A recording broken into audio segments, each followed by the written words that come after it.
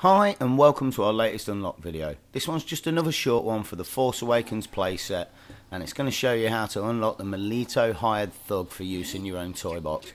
As you can see you need to run the mission named Flagrant Flags given to you by this guy. Incidentally he's the same guy who gives you the Bothersome Bandits mission that unlocks the Scolder.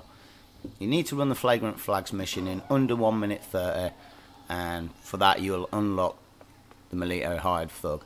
It's a pretty simple mission. There's five flags with switches that you've just got to pull down the switch on, as you can see, and it'll flip the flag round. So for now, I'll cut the commentary out, and we'll crack on with the mission, and we'll see how it goes.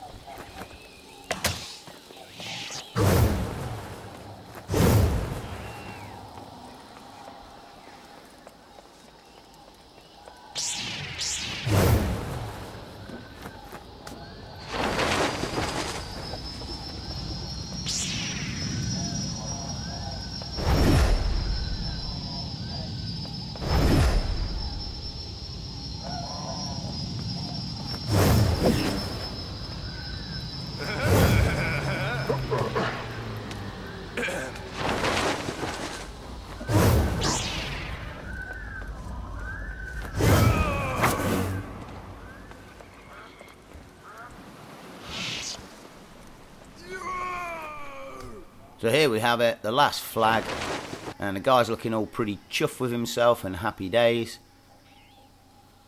And with it hopefully should come the two stars, if we did it in the time limit, which we did, and there's the Melitto High Thug. I do hope this video helped you out. If it did, please hit the like button, that helps us out. If you want to see more of this type of stuff and a ton of other stuff we update regularly, then come check my channel out and subscribe. And either way, thanks for watching. We do hope to see you in the next, and bye for now.